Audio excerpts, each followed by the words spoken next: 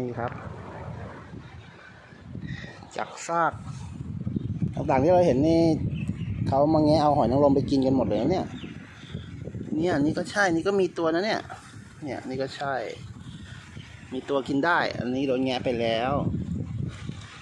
นี้น่าจะมีตัวอยู่นี่น่าจะมีตัวตามโขดหินนะครับ เนี่ยอันนี้ก็น่าจะมีตัวอยู่นะแล้วมันก็โดนแงะไปบ้างบางส่วน แล้วเมื่อกี้มาเจอ นี่ตัวใหญ่จังน่าได้กินเนี่ยเห็นไหมเนี่ยโอ้ปุ๊บปุ๊บปุ๊บปุ๊บปุ๊บนี่นี่หอยนางรมอันนี้ นี่เห็นไหมหอยนางรมไปเลยแล้วก็ข้างล่างก็เป็นปู ปูกับปูเสฉวนนี่เสฉวนทั้งนั้นเลยเสฉวนแล้วก็ ตรงนี้เป็นปูน้อย อีกหนึ่งตัว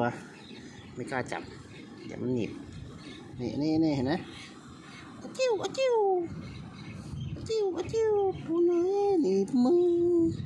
แล้วก็แกงปูเสฉวนเชิญเชิญเชิญเชิญไปรบกวนเขาคืนที่ก่อนโอเค ประมาณนี้แล้วกันปิดไว้ตัวนี้หอยนางรม